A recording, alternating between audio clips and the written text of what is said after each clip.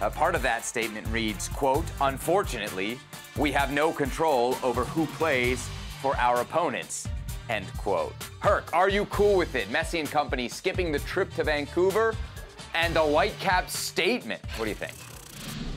All right, two separate things. Mm-hmm. I am cool with Messi, Inter Miami, deeming what they think is fit for their players, whether it's a six and a half hour trip, the longest in Major League Soccer. You're going from South Florida to Vancouver. That's that's two different countries. It's a six and a half hour flight uh, with customs, etc. Yeah, if they want to take it off because they don't want their players making that trip and playing on turf because they see the congested schedule that is for Inter Miami is for Lionel Messi and company, and they see what is ahead the game's ahead, and yes, Messi leaving for Copa America, and they read the writing on the wall. I have no issue with them doing what they think is best for them and their players. That is their prerogative, that is their right.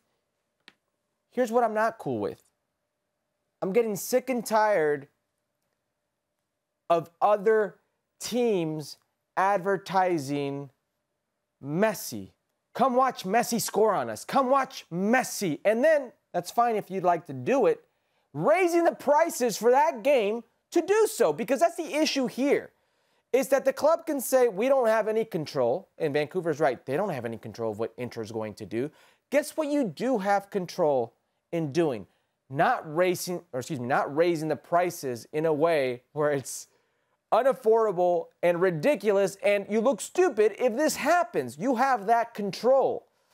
Unfortunately, they're not alone. The majority of clubs do this. That's where I have a problem mm. with. Now, for the fans, I feel for them. Some of these fans. Do you? I mean, they can they can look at a calendar. Like this was the most obvious thing. Anybody knows that there's a six and a half hour flight. Anybody knows that Vancouver plays on turf. Anybody could have looked at Inter Miami's schedule and seen that they got a game at home back across the country on Wednesday. If you paid what we're hearing up to $10,000, you knew, you knew there was a big risk, Herc.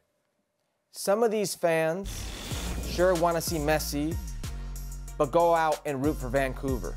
Go out and buy tickets for Vancouver. And they're being priced out by some of these fans that just want to see Messi, that don't even know any other players in Vancouver or on Messi's team. They just want to see Messi. They're getting priced out by those people. I understand what you were saying, Seb, and absolutely do your homework, right? Buyer beware. That's the mm-hmm. world we live in, especially in today's market, the resale market, etc. I am with you, but there are some fans who really do want to support their team who are being affected by this. I feel for those fans. Do you have any thoughts on the statement? Because I think Vancouver's getting a lot of, well, you'd only see this in MLS, a statement where we're talking about the other teams. It is an only in MLS, Herc, and it is cheesy. It is a bad look, but honestly, I think it's necessary. MLS and Vancouver are being honest here. They, they know what's happening. They know people have paid these tickets. Eh, we would be critical. I would be much more critical if they didn't acknowledge Correct. that this was happening. Correct. I, I believe they also have some. It's a consolation prize for those who have paid and shelled out so much money. Oh, they thousands. give you free beer or a discounted beer and hot dogs or whatever. Discounted beer and yeah. hot dogs. Yes, yes. And it may sound stupid, but listen, these clubs they, are under no obligation to do anything. That's a reality. Mm. And I, like I repeat, I feel for the fans who actually want to attend these games because it's their club. It's their boyhood girlhood club. It's their it's their local club who they support and love and want to see. And yes, seeing Messi play against your club would be something great. But being priced out by these things, I feel for those people because listen, we're we're living in a world today where I'm a father of two. You know, I've got a family, and to go out to a sporting event for parking, for for tickets, for concessions, that is an event that it's going to cost you a couple hundred dollars, if not more, talking upwards of two to three hundred dollars just for a day out with your family at a sporting event. So I feel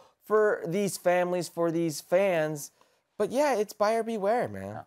Did you see what Vancouver FC of the Canadian Premier League did? They said if you're disappointed and you bring your Inter Miami Vancouver Whitecap tickets to our game, which is earlier in the day, I think it's like a 3 p.m. local time start, you get in free. So there you go. The, the people at the CPL, they're smart. They're up here. They see no Messi, no problem. Look at that, beating, beating our... MLS off the field too. I see, I see that, you guys. That, that's I see the, you guys. There you go. Next step, the next step.